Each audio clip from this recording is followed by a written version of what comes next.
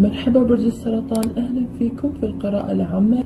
القراءة مثل ما تعرفون تصلح حق الطالع والشمسي وأيضا القمري أو أي كوكب عندكم ثاني موجود في برج السرطان. لكن أنتم اللي لازم تشوفون قراءة وتحددون إذا تنطبق عليكم ولا لا. أوكي. هاي القراءة راح تكون أغلبها عن الحياة العملية وأيضا فيها جانب عن الحياة العاطفية. OK. وفي نهاية القراءة راح ننظر إلى المفاجأة اللي راح تكون موجودة. OK. برج السرطان أول جانب نشوفه في الحياة العملية هو جانب الأموال. خلينا نشوف.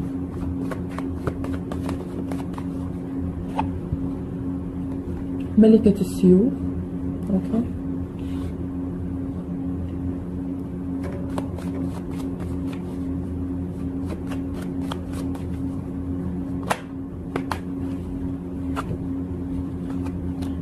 ستة الخماسيات.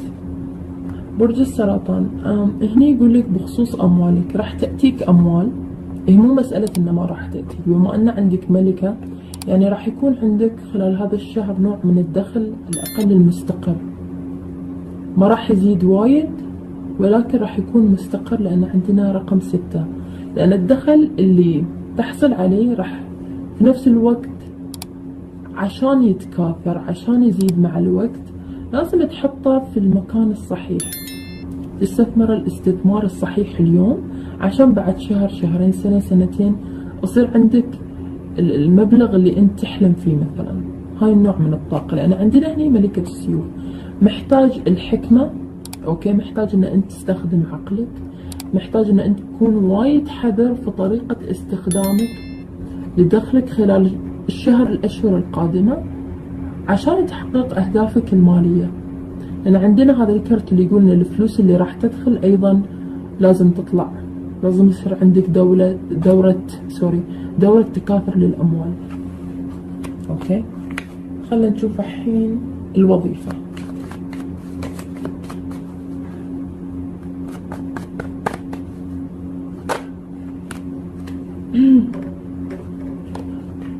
عندنا كرت برج الأسد كرت القوة. في وظيفتك محتاج إن أنت تظهر الجانب الجاد منك أكثر في الفترة القادمة. أوكي. تظهر الجانب اللي يقدر إنه يتحمل ويصبر. إنزين. إذا كان عندك أي شكاوي أي مقترحات للتحسين أي شيء حتى حاول إنه تسيطر عليه في الفترة القادمة. أنا أحس إن جو العمل ما راح يكون متقبل لأفكارك ومقترحاتك في الوقت القادم وحتى لآرائك. إنزين؟ هذا أنت هني. فارس الأرض تقدم مقترح. فحاول أن أنت حتى لو ما كان عجبك وضعك في الوظيفة ولكن تصبر. إنزين تقاوم رغبتك في الكلام. تقاوم رغبتك في التعبير. مهمة من أجل استقرارك الوظيفي في الفترة القادمة. خلينا نشوف المشاريع.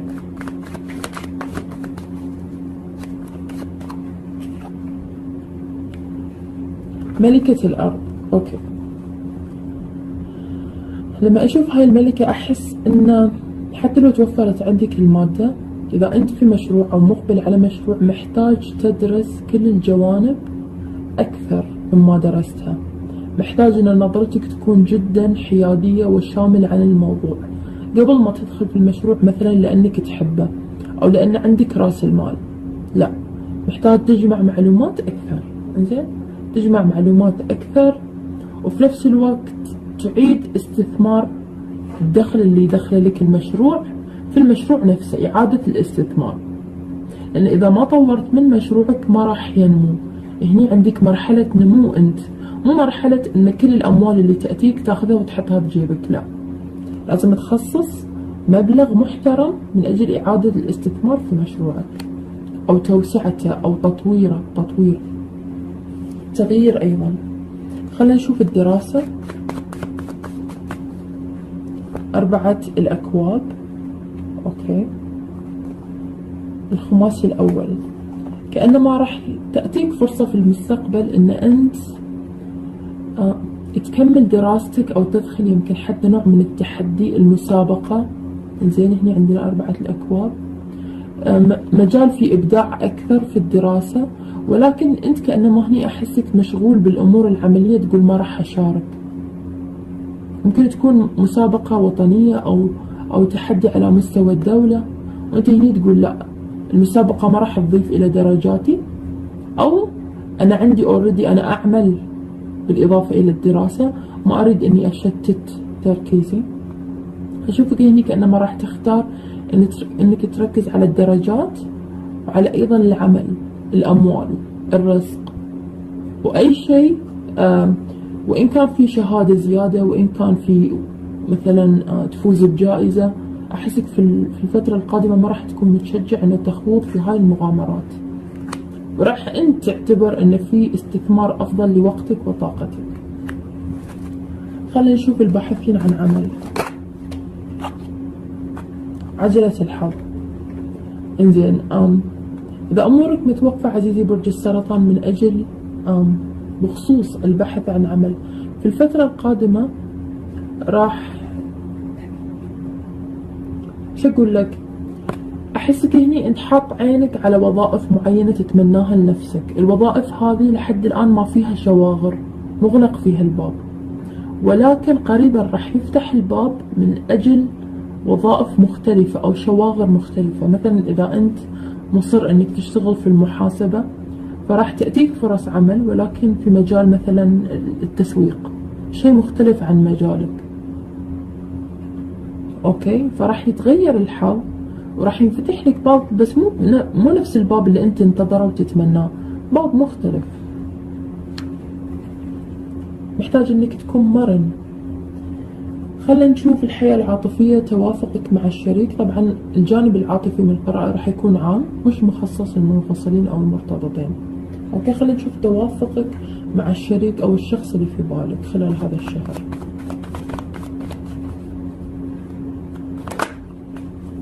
الكوب الأول. تحت عندنا الغصن الصغير. شريكك في الفترة القادمة عندنا هني طاقة الأبراج المائية حوت. عندنا هني الأبراج النارية. إنزين. آه، أسد حمل وقوس. وهنا عندنا حوت عقرب سرطان. إنزين. في الفترة القادمة طبعا اعكس القراءة باللي تحس إنه يناسب وضعك مع الشريك. هنا لا أنا أحسه إن أنت مشاعرك قاعدة تتدفق من أجل شخص جديد. ابتدى ينبض قلبك شغفا مو شرط حبا شغفا اهتماما بشخص جديد قادم إلى محيطك إلى محيط العمل إلى محيط الدراسة إلى محيط الأسرة التقيت فيه صدفة. ولكن لفت انتباهك هذا الشخص. إنزين لأن صار الوضع أو راح يصير اللقاء بينكم في وقت أنت أبدا مش متوقعه زين أو إذا كان اوريدي عندك شريك أو عندك شخص حاطه في بالك ففي شخص هني راح يكون منغلق عن الحب ولكن يبي يفتح باب للتواصل بينك. يبي يتواصل معاك ولكن مو مستعد إنه على طول يقفز إلى الخطوة الكبيرة اللي فيها حب. أو ما خلينا نقول إحنا ما يوافقك على مستوى المشاعر. المشاعر هو عنده غصن صغير. الغصن الصغير اللي هو يكون الشغف الاهتمام. أنت عندك الكوب الأول كوب الحب كوب الهيام. ففي اختلاف أو هو عنده. اعكس القراءة. اعكس. خذ الجانب اللي يناسبك. إنزين واللي ما عنده شريك يعني العزاب خليه ينتظرون مواصفات الشخص القادم في طريقك هاي القراءة راح أسويها بعدين. خلينا نشوف الحين الصحة يا برج السرطان. الفارس الأرض أوكي. عندنا هني سبعة الأكواب. أم أحس هني إن بعضكم يحاول أن يؤجل موعد كشف في المستشفى موعد فحوصات أو حتى موعد عملية. دائما يتعذر أن الوقت مش مناسب لي. دائما يتعذر أنه ما له داعي. يمكن أطيب بروحي. يمكن أصير زين بدون ما أحتاج للعملية بدون ما أحتاج للدكتور. في أحد منكم هنا يا برج السرطان ما يحب دخلة المستشفيات؟ أنزين؟ وساعات ترى تشوفوا في قانون الجذب إذا الموضوع ما كان صحيا خطير يسبب خطر مباشر على صحتك. إن إحنا نشيل اهتمامنا عن العوارض التعب الإجهاد العرق المشاكل اللي هني تخص النوم. أحس هني مشاكل تخص النوم. لما نشيل اهتمامنا ما نركز فيها وايد نركز في شيء ثاني نركز في الحياة العملية أو في الحياة بشكل عام. هني نشوف المشكلة مع الوقت تبتدي تخف. ما هي إلا أعراض زين. نتيجة التغييرات اللي إحنا قاعدين نمر فيها بالعمل مثلا. العمل قاعد قاعد يأثر عليك يا برج السرطان ياخذ من صحتك يخليك مثلا ما تنام في الليل. زين. خلينا نشوف آخر شيء الأمور القانونية أو في النظام القضائي. عشرة الأكواب. إن شاء الله. آه خلال شهر لأن هذا رقم عشرة. خلال شهر تسعة راح يأتيك خبر جميل إن قريبا راح يكون في اللي هو في شهر عشرة راح يكون في نطق بالحكم النهائي نطق راح يرضيك أوكي؟ راح يكون ما بقول لك إلى صالحك مية بالمية إلى صالحك على قد ما أنت لك حق يعني راح تاخذ حقك بهاي الموضوع. راح تاخذ حقك بخصوص احتمال كبير شيء يخص الأسرة محكمة الأسرة تأخذ حضانة الأطفال عندك. زين خلينا نشوف الحين عزيزي برج السرطان شنو راح تكون طاقة التحدي أو الاستفزاز لك خلال شهر سبتمبر؟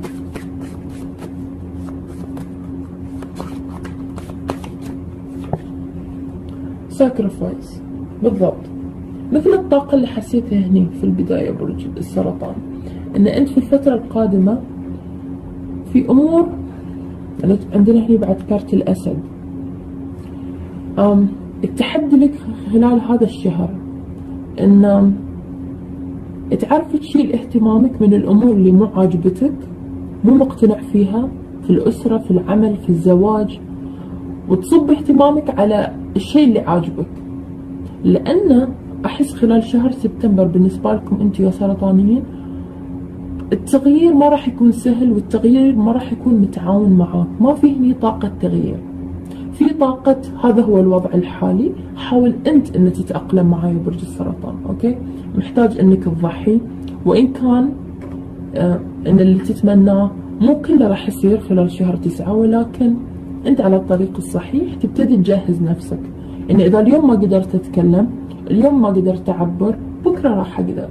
مو لازم كل شيء أسويه الحين. مو لازم أقول كل مشاعري الحين لا. طاقة إن أنت تمسك نفسك. هذا هي التحدي الأكبر لك خلال هذا الشهر. خلينا نشوف الطاقة اللي راح تعاونك. الطاقة يعني راح تكون حليفتك خلال هالشهر.